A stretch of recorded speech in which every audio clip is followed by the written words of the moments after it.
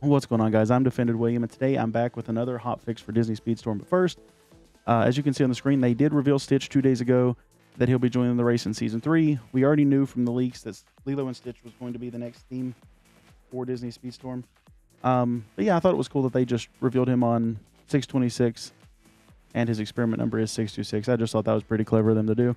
Um, leave down in the comments what you think his racing class is going to be. Personally, I think he might be a trickster, but we'll see. Uh, let's get into this hotfix update today.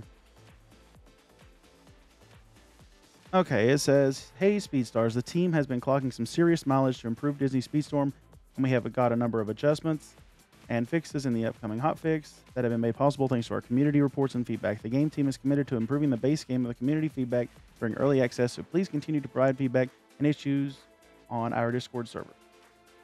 Okay, first thing is audio mixing. The volume of the drift boost sound effects have been lowered. That's a great thing. I hate that stupid little noise they added.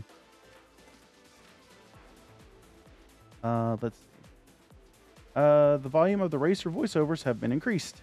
Uh, some volume corrections have been made to the 5.1 uh, surround sound mix. Some volume corrections have been made. to uh, fix an issue where engine noise sound effects were too loud at top speeds with certain racers.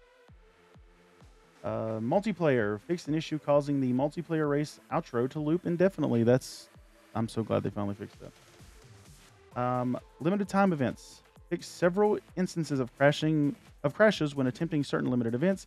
Correct numbers of completed limited events objects should now be displayed. Season Tour. The XP earned from completing daily missions have been increased from 60 to 200 XP, which I think is a great, great improvement. Uh, before you could gain 180 from daily missions, now you earn 200 from one. So you'll max out at 600 a day, which I think will help in the long run after all the season tour is over and you have that few days to gain XP still to try to get some more season tokens. I think that's a great, great fix. Uh, fix several instances of certain race goals not being visible in season tour.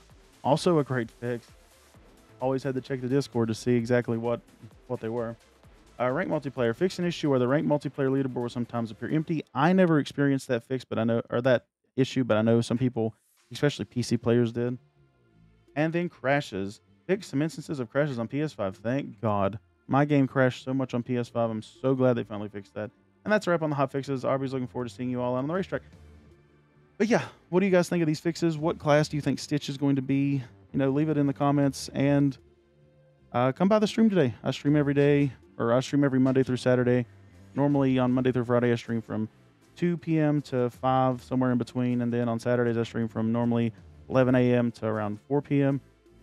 It's always fun. We have a great little community that's building every day. So yeah, come join, and I will see you guys there.